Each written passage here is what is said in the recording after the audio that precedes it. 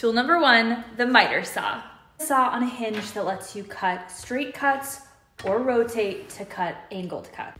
Here's how to use it. Press the board firmly down and against the fence. Pull the saw all the way out, then start it, getting it all the way up to speed before pressing it slowly back towards the fence to make the cut. Hold the saw in place, let it come to a complete stop before lifting it up. This is the cover to protect your fingers. This is the blade, which you changed by loosening that little screw.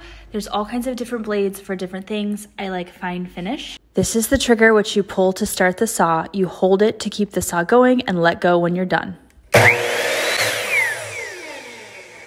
This is the fence. You're gonna hold your wood flush against it as you make the cut. You wanna make sure to hold over here, pressing into the fence, not up here where your fingers are close to the blade. My miter saw has a laser, which is gonna guide me as I cut. They don't all have this. Don't forget safety gear and follow for more.